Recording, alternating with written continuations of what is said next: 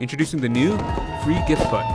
It's a great way for creators to give gifts to their room guests or club members. Room creators buy gifts to add to the button, then the other players can hit the button and choose a gift to receive. Free pizza. Yes. Spawn in from the dynamic prop section of the palette. Use the config setting on the maker pen to buy gifts to add to it. You can also set a cooldown in the configuration menu that determines how long people have to wait before they can get another gift from the button.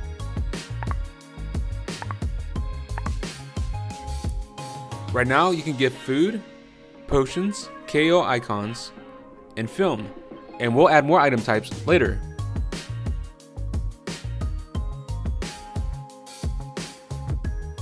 All your buttons across all your rooms share the same inventory. Free gifts are tied to the room creator's account. Any gifts you buy for one button will show up on all the buttons linked to that creator.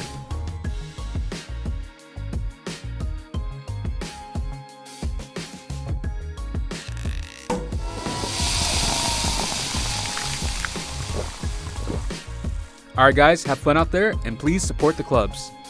My name is Harry, please leave a like, comment, subscribe for Everything Rec Room, and we'll catch you guys in the next video.